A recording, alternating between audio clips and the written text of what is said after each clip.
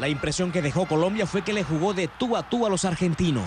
Yo pienso que es un partido parejo, partido de dos equipos que entregaron todo en la cancha, que fue bien dinámico, que fue alegre. El bolillo valoró la actitud de sus dirigidos, especialmente la de su volante Carlos Sánchez, quien neutralizó a Lionel Messi. Fue un, un trabajo muy leal, porque siempre le dije no me lo vaya a porrear. Y fue un trabajo muy leal de un hombre que sabe cumplir bien la función.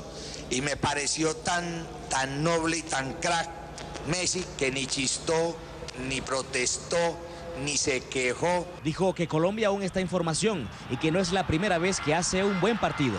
Se habla del mejor partido por la calidad del rival. Pero yo le he visto al equipo más continuidad en otras cosas.